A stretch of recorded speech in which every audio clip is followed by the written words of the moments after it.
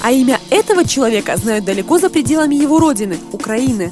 Вячеслав Баранский – создатель порталов «Интернетные штучки» и «Лайфхакер.ру». Его блог по популярности обогнал даже страничку самого Артемия Лебедева. Так вышло, что блоги, да, что я стал самым, наверное, одним из самых заметных блогеров. Когда-то он хотел бы раздеть просторы космоса, но судьба распорядилась иначе. Сегодня осваивает пространство не менее масштабное – интернет. И цели у него даже далеко не космические, реальные. Его блог входит в топ-пятерку Яндекса. Лайфхакер сегодня э, по топ, в топе Яндекса, блогов, всех блогов, включая Live Journal, включая Live Internet и все остальные, попал на пятое место. То есть обогнав там, Артемия Лебедева, обогнав блогера другого, которого очень часто упоминают на радио, на телевизоре. Его секрет продвижения блога прост. Правильно блог продвигать, а ты его не продвигать.